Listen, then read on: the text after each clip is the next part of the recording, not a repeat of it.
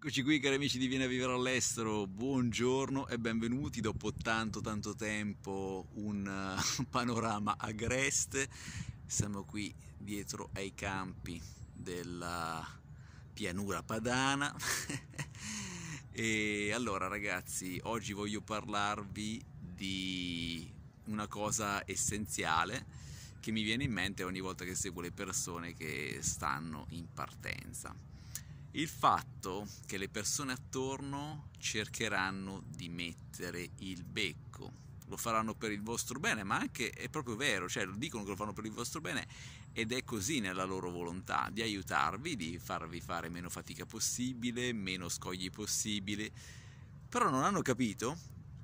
che quando loro mettono il becco, uno è già un po' confuso, no? perché chiaramente deve andare in un posto che magari non conosce, non ha mai visto, non sa bene la lingua, c'è una serie di handicap no? che vuole superare, proprio per questo che il viaggio all'estero è una bella, una bella iniziazione, un bel rito di passaggio che vi permette di tirare fuori no? delle caratteristiche latenti che non sapete se ce l'avete o no.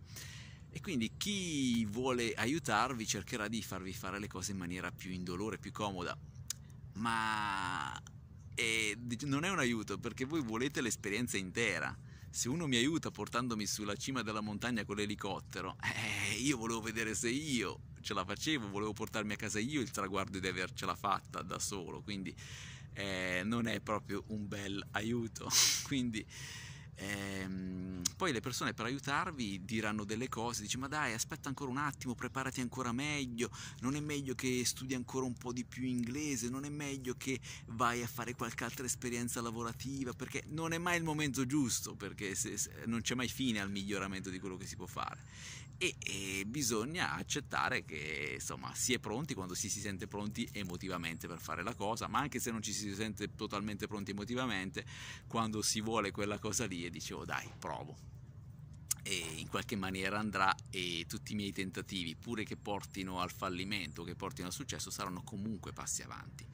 Quindi le persone attorno cercheranno di dire la prova alla propria mettendo anche un po' il senso di colpa, fa, ma se fai adesso poi magari perdi tempo, perdi denaro, invece se aspettavi, ma poi non vedi che abbiamo bisogno di te, fai chi glielo va a dare il passaggio alla nonna e chi cercheranno di mischiare aiuto con senso di colpa, cercheranno di confondere le acque per eh, cercare di seminare un po' di dubbi in più,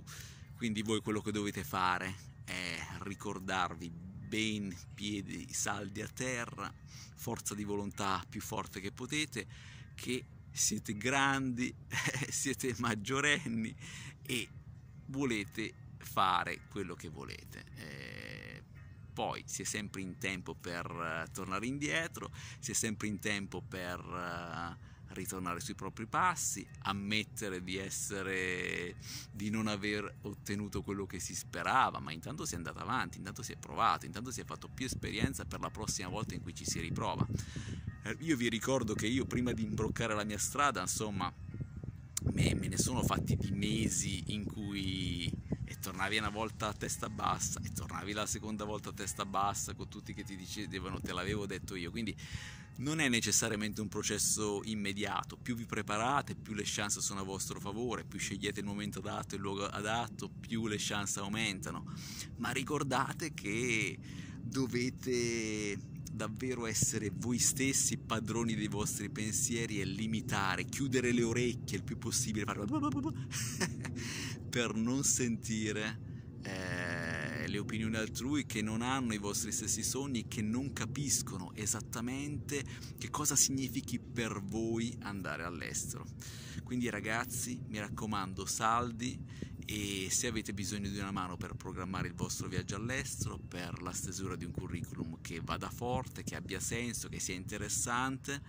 mi raccomando contattatemi per le one to one se vi è piaciuto questo video mi raccomando fatemelo sapere con un pollice in su così l'algoritmo di youtube viene stimolato. E se volete vedere questo canale crescere mi raccomando iscrivetevi. Spero che questo video vi sia piaciuto e noi ci vediamo nel prossimo. A presto. Ciao